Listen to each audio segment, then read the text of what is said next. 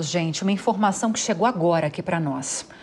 Morreu hoje, aos 66 anos, o lutador de boxe José Adilson dos Santos Rodrigues, conhecido como Maguila.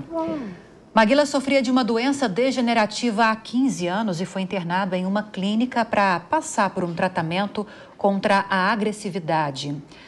A Jovem Pan vai continuar acompanhando a situação e a todo momento a gente traz para você mais informações sobre essa triste notícia.